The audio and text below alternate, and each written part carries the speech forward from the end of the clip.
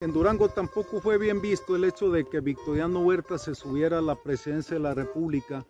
y los generales que estaban al mando de sus tropas empezaron a combatir ahora el huertismo. Y bueno, posteriormente para el 18 de junio se lleva a cabo la toma de la, de la ciudad de Durango por parte de las,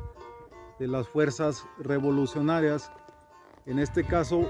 ellos formaron cuatro frentes alrededor de la ciudad para poder atacar a los a los federales, el primer paso fue apoderarse del, cerro de los, de los remedios, que en este caso era estratégico para las tropas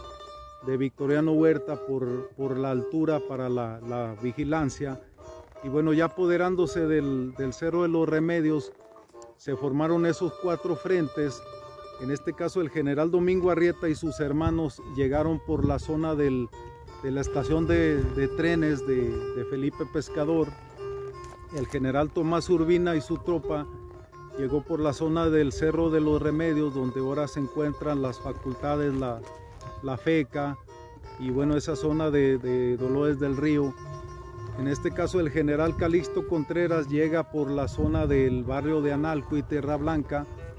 y el general Lorestes Pereira se coloca en la zona del, del Panteón de Oriente y bueno, desde esos cuatro frentes se llega el ataque contra los federales y la victoria del bando, del bando revolucionario.